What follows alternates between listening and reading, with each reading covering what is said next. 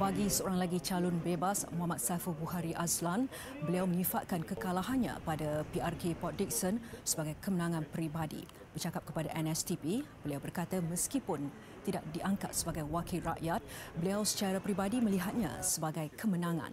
Ini kerana berjaya menyampaikan matlamat perjuangan dengan baik dan berpuas hati dengan usaha membawa dimensi baru dalam politik tanah air. Malah katanya tiada apa perlu dikesalkan kerana warga Port Dickson menerima kehadirannya selaku calon bebas dengan baik.